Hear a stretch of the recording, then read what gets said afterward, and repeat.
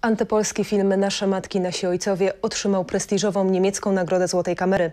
Przy owacji tysięcy ludzi producenci skandalicznego, obrażającego Polskę i cały naród polski filmu odebrali Złotą Kamerę za najlepszy film telewizyjny.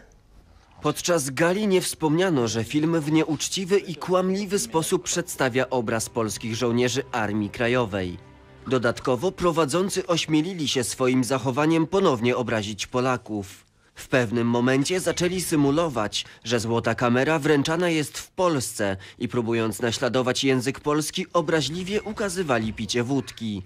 Była to jednoznaczna sugestia, że w Polsce wszystko sprowadza się do spożywania alkoholu. Jak wskazują historycy, to bezczynność polskich władz oraz niezrozumiałe decyzje przedstawicieli telewizji polskiej spowodowały, że kłamliwa historia na temat II wojny światowej trafia do coraz szerszego grona. Zalegitymizowaliśmy niejako to kłamstwo, przenosząc na grunt polskiej telewizji i staliśmy się niejako współeksporterem.